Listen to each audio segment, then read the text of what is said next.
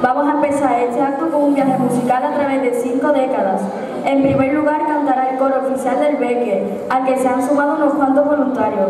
Acompañan al coro Julián Añover, Silvano Olaya, Irene Camacho, Alejandra Antunes y María, Marina Chamorro.